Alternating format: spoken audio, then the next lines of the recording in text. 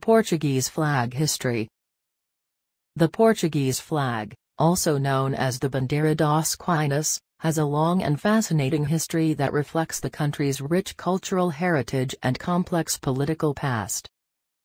The origins of the Portuguese flag can be traced back to the 12th century, when King Afonso Henriques established the Kingdom of Portugal and chose a coat of arms to represent his new realm. This coat of arms featured five blue shields arranged in the shape of a cross, each with five white dots inside.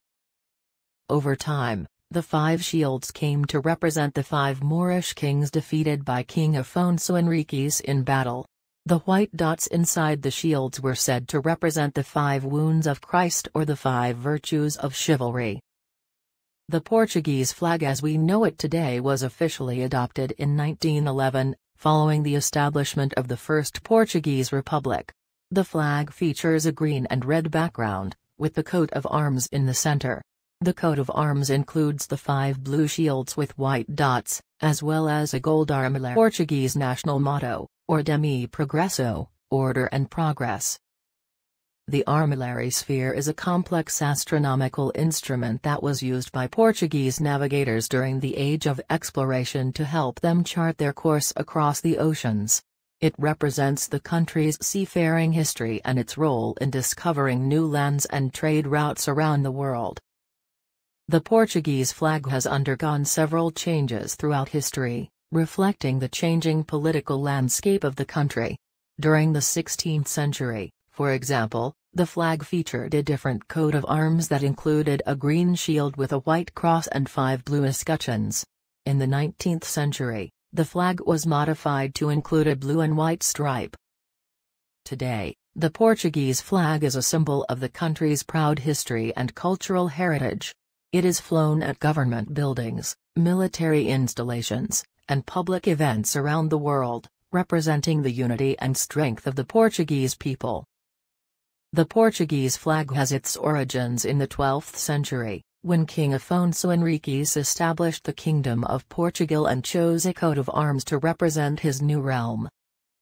The coat of arms featured five blue shields arranged in the shape of a cross, each with five white dots inside. Over time, the five shields came to represent the five Moorish kings defeated by King Afonso Henriques in battle. The Portuguese flag as we know it today was officially adopted in 1911, following the establishment of the First Portuguese Republic. The flag features a green and red background, with the coat of arms in the center. The coat of arms includes the five blue shields with white dots, a gold armillary sphere, and a white scroll with the Portuguese national motto, Ordem e Progresso, Order and Progress.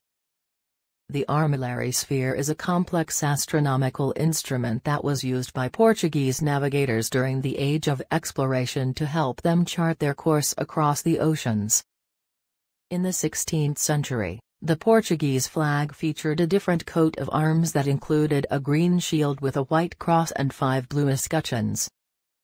In the 19th century, the flag was modified to include a blue and white stripe. Today, the Portuguese flag is flown proudly at government buildings, military installations, and public events around the world, representing the unity and strength of the Portuguese people and their rich cultural heritage.